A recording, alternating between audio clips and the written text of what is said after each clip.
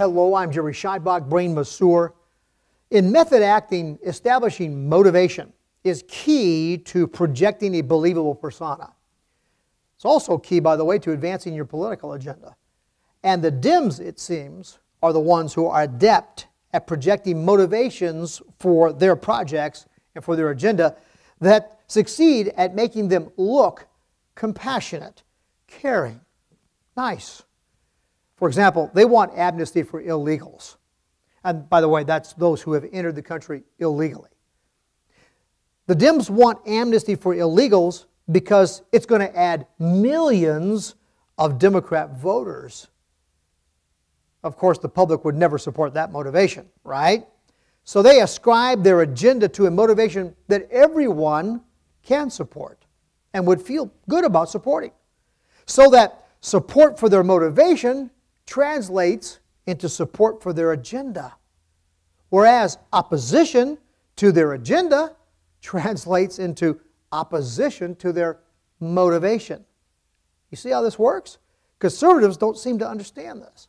Recently, instead of opposing Boehner's uh, amnesty compromise bill on the moral ground that it rewards the unfair cheaters who took cuts in the immigration line, enables foreign criminals to prey upon our people and encourages them to come across the borders to do that, and almost literally takes food out of the mouths of our own children and jobs from our own workers here in some ways.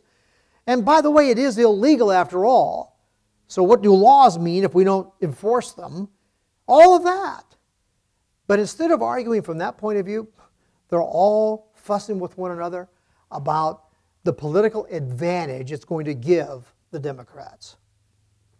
Bible thump alert. Bible thump alert. You've got to give it to those deceptive Dems, my friends.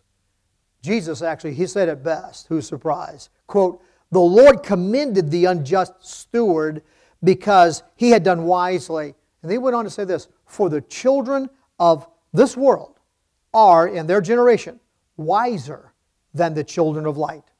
Luke 16, verse 8, ain't that the truth? Amnesty rewards cheaters who took cuts in the immigration line. It enables and encourages foreign criminals to cross our borders and prey upon our citizens. It takes food from our own, and it is, after all, illegal.